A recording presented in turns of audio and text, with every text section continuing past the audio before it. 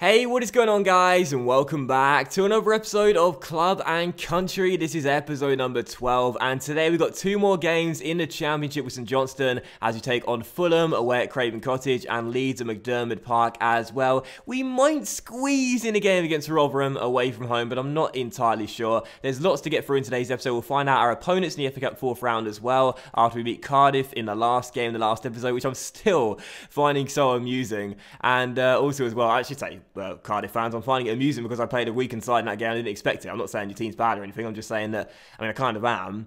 What I'm trying to say is, I mean, not really because it's in the game. What I'm trying to say, can I start again, please? Hey, what is going on guys and welcome back to another episode of Club and Country. This is pointless, you already know what I'm going to say. It's the exact same monologue as before. Yes, today guys we take on Fulham and Leeds, alright, in a championship maybe a game against Rotherham as well. And we find out our opponents the FA Cup fourth round. I should have just gone with the first one and continued. But uh, yes, today, guys, we've got these games against Fulham and Leeds and some more business in the transfer window as well. Um, I don't know whether McLean is going to leave. McCall is going to leave, which is great. Uh, of course, he got a bid in the last episode from, I can't remember. But he's going to go anyway, and uh, that's fine with me. He's the uh, only foreign player in our side right now. Of course, Tour out on loan right now. But I don't know whether any of our players are going to leave. I feel like McLean is probably going to sign with someone because he's in such good form right now and he can be poached away. But I'm not entirely sure. So let's just advance in the calendar and uh, see what we've got to do first. Player training. Player training is, is what we've got to do first. Exciting stuff. The training feature, a big headline feature for FIFA 16, which I care about quite a lot. That comes first. Oh, old man Barry's up to 65. That's good. And we've just seen a player's been sold as well. McCall has indeed left for £60,000. Totally fine with me. And we've got another monthly scouting update from Jack as well. Got some tournament prize money. Uh, of course, this year, uh, the prize money doesn't go straight in your budget. It waits. It goes until uh, next season, waits and goes until next season. It uh, stays uh, away from your budget until next season, but fair enough. We'll take the 85 grand anyway. And let's go ahead and take a look at Jack's scouting update. All right, so Duncan McCall is looking a bit worse, so we're going to go ahead and reject him. Uh, Aiden Stewart could be alright, but the overall's a little bit too low and the potential's not high enough in my opinion. I'm looking for the creme de la creme here, and Lewis Peterson doesn't meet that criteria either. Douglas Mitchell, oh, hello, Douglas Mitchell. He's going to come into our team. 76.94 potential, 47.59 overall. Goalkeeper, easy to train, we'll take him. Douglas McKenzie could be alright, but I'm not too sure.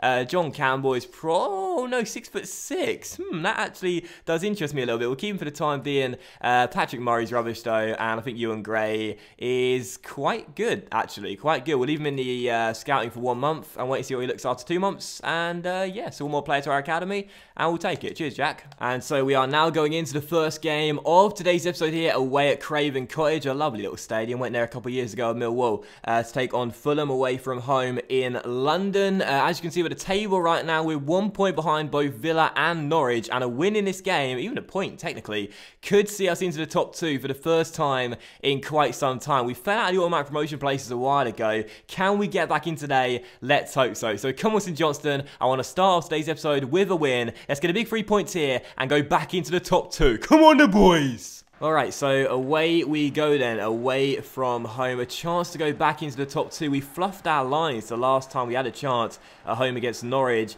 This is our moment. This is our opportunity. So we need to get the win. Come on, the boys. Oh, good little tackle there by Wotherspoon. A really good chance. Wotherspoon storms forward. Still Wotherspoon. Everyone's left in. Wotherspoon surely puts it in off the post. 1-0 to St Johnstone. 18 minutes in. The perfect start. And David Wotherspoon forces us into the lead. And maybe into the top two. Fulham surrendered possession through the middle of the park. Wotherspoon won it back and did all the work himself. Held off his man, stormed forward, and a great finish in off the far post, across Button, and David Wotherspoon gets his second goal of the championship. 1-0 to St Johnstone. Is this the game? We go back into the automatic promotion places. Come on, the boys. Souttar finds Wotherspoon, chance to whip it across the far post. That's a great delivery, and Tierney diving header. Oh, what a goal, Kieran Tierney. No, it's offside. It's offside. What a goal from Tierney. A diving header, but he was, well, he's well offside, isn't he? He's about a yard offside there. Definitely the right call. That was a brilliant diving header from the left back. Sadly, it won't count. So second half again, still leading by a goal. Comfortable first half for us. Fulham barely got close to our penalty area, really. We look the stronger side right now, and can we get a second goal in the second half? Wilson's done well to win it back here. And a chance already. Olsen chips it into the middle. Might drop to McLean getting in. Great save by Button. Old man Barry and Souttar had a seriously easy game. Fulham had done nothing so far, but now they could have a chance. Sone Aluko on the ball, tries to get inside the area, finds Ayité here, down this left-hand side or right side for them. Great cross to the far post as well, and the header goes into the bottom corner. I mean, that was just so typical. Just said that Fulham are barely been close to our penalty area. They went for deep cross to the far post. It's headed in, and John Ruddy, I mean, should he do better? It's across him. It's very, very close to the goalkeeper there as uh, number 11. But I feel like Ruddy should do a little bit better to stand him up there and not go to the ground so quickly. Fulham back on level terms. That's their first attempt on goal and they've scored. Oh, Kalas, what a storming run. Now Tom Cairney on the ball. Old man Barry trying to keep up with the boy. And still Cairney, what a tackle. Old man Barry. Right, come on, boys. There's still time. Just over a quarter of an hour to go.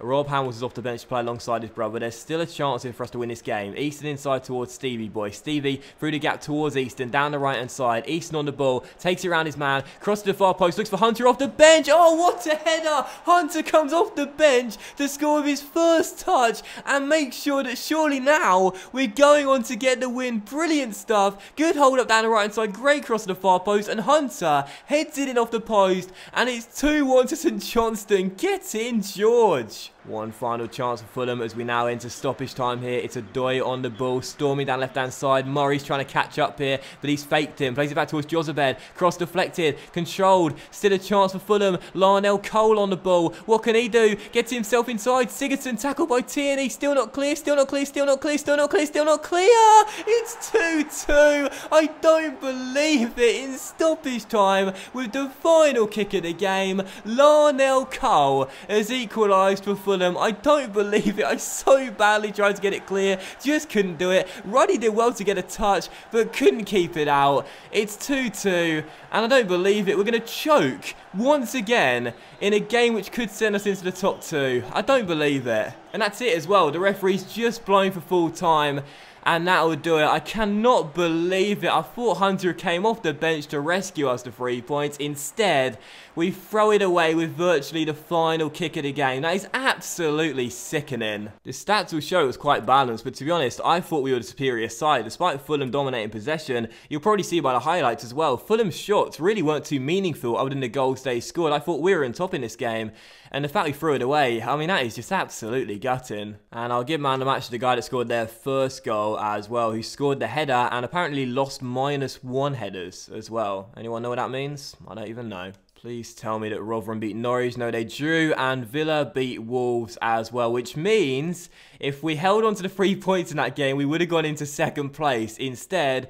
Villa extend the gap at the top of the table to three points now, I think it is, and we still stay out of it by a point. That is just, I mean, seriously, it was like the final kick of the game. Boys, come on. And we just received some tournament prize money as well, which means that we now know who we'll be facing in the fourth round of the FA Cup. So I'm really, really hopeful that we got ourselves a big draw to help with some uh, some some match tickets and whatnot that you get in this year's FIFA the finance section, or it's a League Two club that we could possibly brush aside. So let's find out who we've got in the next round of the FA Cup. We will be facing in round four Fleetwood Town. Hmm, okay, so that's that's a club we can definitely take on. They're in League One right now, Fleetwood, and um, yeah, I'll, I'll, take Fleetwood in the next round. That's uh, that's after the Leeds game actually. Um, yeah, I'll, I'll, take Fleetwood. I, I think it's at home. Yeah, it is home as well. So I think that's a game we could definitely win and we could be going through to the fifth round of the FA Cup. That would be amazing. Okay, so we're now moving into the second game of the episode, and what a game as well. We host Leeds here in Scotland in a third versus sixth clash. Both sides in the playoffs right now, and as you can see by the table as well, we're five points clear of them. We're only seven points clear of Reading in seventh, who are outside the playoffs. If we lose this game, we'll start to feel like the teams below us can catch up and possibly make our position in the playoffs seem a lot less stable. But if we win the game, game, we could go back into the top two. So there could be a massive mix of emotions come the end of the game, depending on what the result is. So a huge, huge game here. We take on Leeds. Let's get the win. Let's not throw it away in stoppage time again, though. Come on, St Johnstone. Let's get the three points. I want a big victory here. It's Davidson to old man Barry, venturing forward past the halfway line. It's a day out for the old boy. Through the gap towards McLean. McLean through towards Kane. Chance here. Kane on the ball. Back towards Stevie Boy. Can he get there? Can he get there? Great save by Rob Green. And Kyle Bartley clears. Roof tackle by Souttar. a good chance here on the break here. Through towards McLean. Now towards Chris Kane, his strike partner. Come on, Kane. This is your moment. This is your moment. You need a goal, son. Oh, my goodness. What's happened to the kid? Seriously, that's a near post smash, which usually works out well. And this time I couldn't even hit the target. I don't know what's happened. I really, really don't. Still tied at nil-nil. 12 minutes to go before the break. I want a goal in this first half to settle some nerves. Come on, Wotherspoon through towards Craig. Now McLean on the ball. Back towards Murray Davidson, the skipper. Easton now through the gap towards Hamilton. Down the right hand side. Good build up here. 16-year-old gets inside. Well done, Rob Hamilton. Excellent run. And Rob Hamilton continues to run and goes for goal. Good save by Rob Green. Go on, old man Barry. That's yours. Douche. Well done. Barry is a rock in the air. Seriously, Kane on the ball. Rock in the air. I mean, not really. That's a foul. Referee, hang on a minute. Bartley just took down McLean McLean off the ball. He just took him off the ball without the ball. That could be a, a straight red. Uh, McLean was storming forward for the through ball. Bartley took him down. That could be a straight red card. Referee, there you go. Kyle Bartley is off. That's the second time a Leeds player has been sent off against us. Why did he do that? McLean ran in front of his man and Kyle Bartley just took him down. He literally was, oh, he was going for the ball. He took down McLean instead. I mean, that's a straight red card, definitely. I know it was accidental, but still. Kyle Bartley with a moment of madness there and a chance for us here with a free kick which Craig will take. Craig on the ball, goes for goal. It's not a bad effort off the post by Craig and we can't turn in the rebound. Taylor gets it clear. Oh, so unlucky. Man, if we don't win this game, seriously, they're down to 10 men now. We've been a better side in this first half. Let's make this man advantage count. Rob Hamilton on the ball, gets inside the area, finds Stevie Boy. It spells the right man. Stevie Boy off the post. Craig turn it in, please. No, he couldn't control it.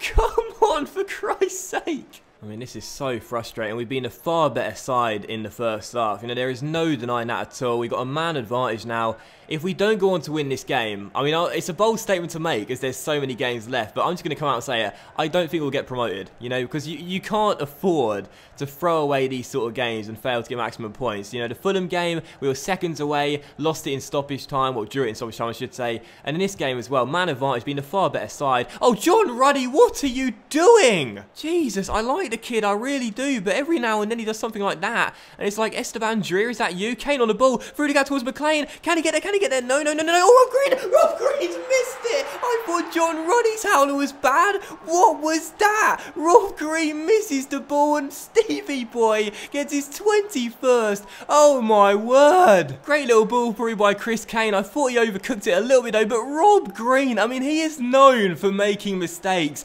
Who said FIFA's not realistic, eh? What was he trying to do? Stevie Boy slides in, he catches nothing, just thin air, and McLean gets his 21st of the year. I'm clapping on the sidelines. An easy goal, but we deserved a bit of luck. We got it there. McLean puts us in front. Gets in. 1-0 to the Sainties. Ruddy's kick is perfect and finds Murray Davidson, volleys on towards Alston, and away goes to sub off the bench down the right hand side on a storming run here, and away he goes. Taylor is not going to keep up here. Alston continues his run, great chance here, drills it into the centre, finds McLean. Oh, what a finish! Stevie McLean, absolutely fantastic. Telling the fans to calm down because he's leading the way as we're surely going to the top two. Brilliant cross from Alston off the bench, and McLean on the volley. I mean, 34 years old or not. This guy is our saviour. What a finish by the number 9. And that will deliver the three points to St Johnstone. We're returning to winning ways and Stevie's leading the way. And a late chance possibly to add a third goal as Hunter finds Wotherspoon, but instead I think we'll put our foot on the ball here, play it all the way backwards to Souttar, and we shall just control the ball for the final seconds. St Johnstone may be going back into the top two. Oh no, oh no, oh no! Oh my god, oh my god, oh my god. Okay, I deserve that. I just...